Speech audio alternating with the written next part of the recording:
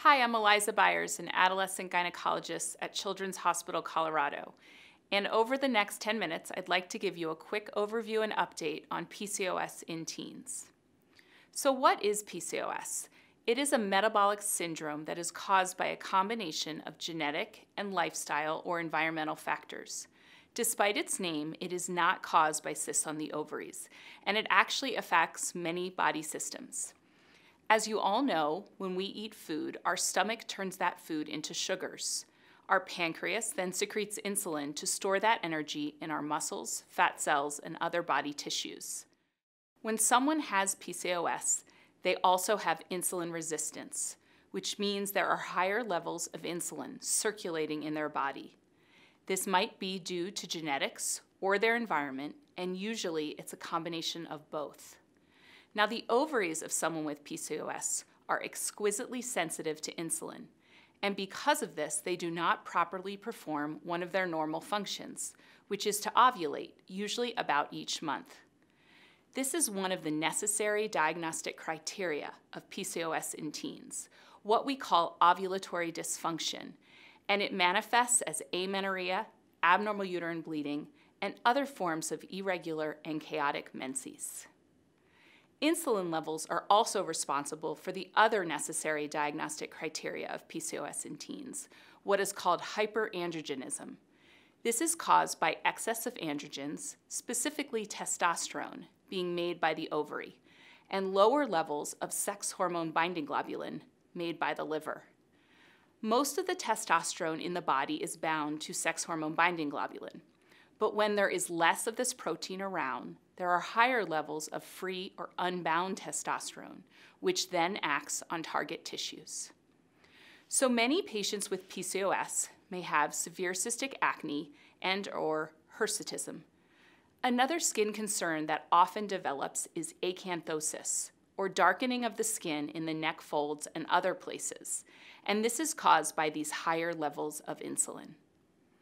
The cycle shown here is reinforcing and without intervention continues to promote weight gain, fatty liver, and the development of type 2 diabetes.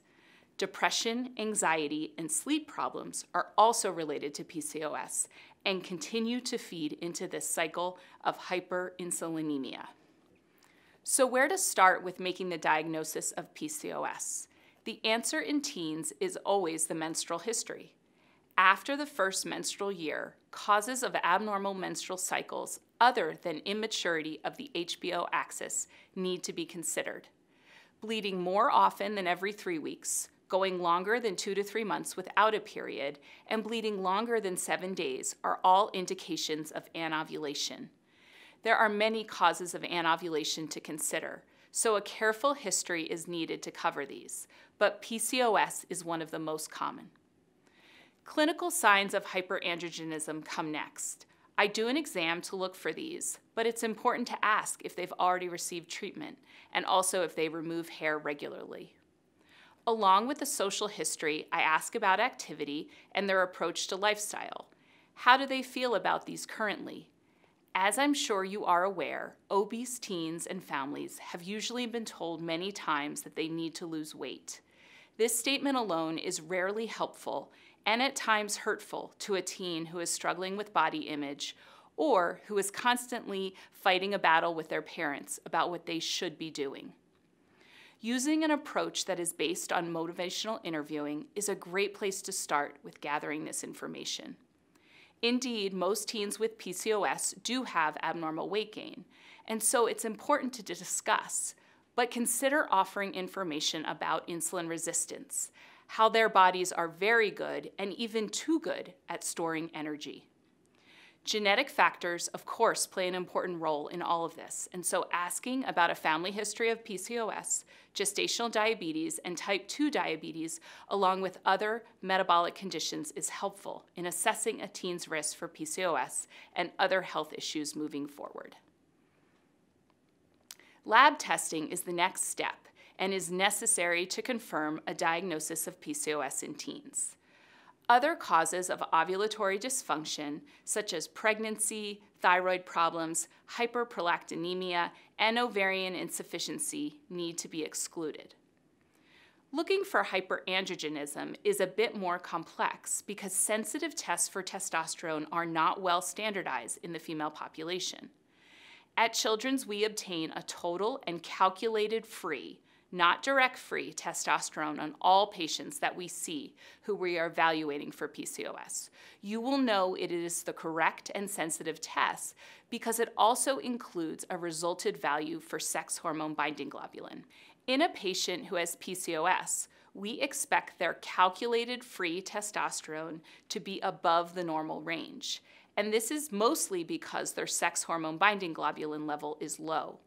Total testosterone in the setting of PCOS may be normal or slightly elevated. Other tests that are needed if a patient has clinical signs of hyperandrogenism include a 17 hydroxyprogesterone and a DHEAS. For patients who do not have clinical hyperandrogenism, the ultra sensitive calculated free testosterone test is especially important because otherwise the diagnosis of PCOS is likely to be missed. Although not part of making the diagnosis, all teens with PCOS, even those who are normal weight, should have metabolic screening labs Early detection of non alcoholic fatty liver disease and prediabetes can lead to targeted interventions and prevention. Teens with PCOS also need screening questions for sleep apnea and mood disorders, as they have much higher rates of both conditions than their non PCOS peers. So, to summarize, the diagnosis of PCOS in teens requires two things. The first is ovulatory dysfunction, and the second is hyperandrogenism. Criteria to make the diagnosis are more rigid than in the adult population because for all teens, puberty can be a time of hormonal and metabolic instability. For patients where you can't make the diagnosis but you still suspect it, we use a category called at risk for PCOS. For example, we find that over a third of the patients that we treat with acute abnormal uterine bleeding during that first menstrual year end up being diagnosed with PCOS later on. We also see lots of patients using hormonal therapy or birth control to manage their irregular periods and acne, but they did not have formal PCOS testing before starting. Patients really need to be off hormonal therapy for three months before doing accurate hormonal labs, and this long break in treatment is rarely desired or clinically indicated using the at risk category can be helpful in these and other scenarios. This is a great time for me to make sure that you are aware of the most recent consensus guidelines on PCOS. These are available online and free to everyone. They offer much practical guidance for providers, including simple algorithms for diagnosis, as I've just described one other item that I want to highlight from the guidelines is that pelvic ultrasound is not used to diagnose PCOS in teens. In fact, this cystic appearance is considered normal until at least eight years following menarche. The guidelines also recommend a holistic approach to treatment, which we're going to touch on now. This is a slide from a presentation that we do for new patients that are coming to our multidisciplinary clinic for PCOS. The idea is that treatments should be connected and patient centered. Lifestyle changes are absolutely first line, but the focus needs to be on specific and achievable goals that can work for the patient and their family. Understanding what PCOS is about and how it affects the entire body is key. As you can tell, we try not to focus on absolute weight gain or loss, but it is important to know that for most patients, even just a 5 to 10% reduction in weight results in improved PCOS symptoms. And of course, treatment for depression, anxiety, and sleep problems have an incredible and positive impact on everything. When it comes to medications, almost all teens need some type of hormonal therapy to keep the lining of the uterus thin, healthy, and protected from endometrial hyperplasia that occurs in the setting of anovulation.